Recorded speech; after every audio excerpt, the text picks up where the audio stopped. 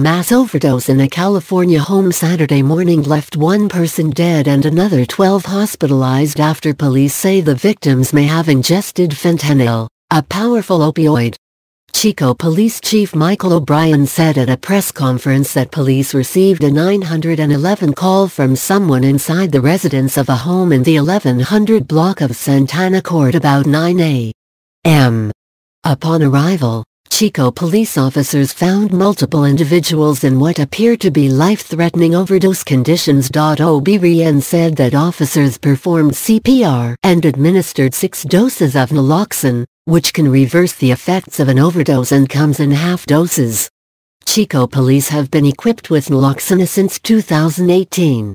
Fentanyl now deadliest drug in America, meth overdose is growing, CDC say Sony male adult died and 12 other people were taken to an area hospital for treatment. O'Brien said the ages of the victims range from 19 to at least 30.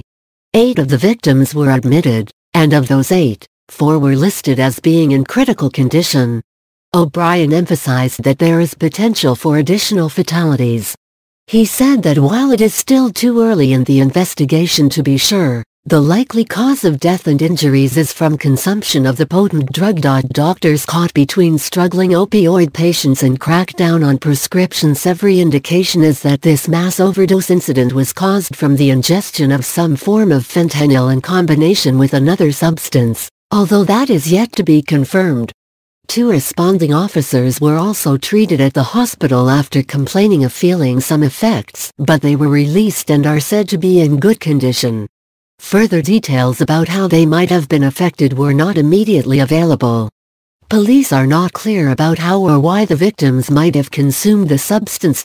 Click here to get the Fox News app's home is currently being treated as a hazmat site, but O'Brien said it is not a danger to the public. A relationship between the victims has not been established, though police say they all knew each other to some extent.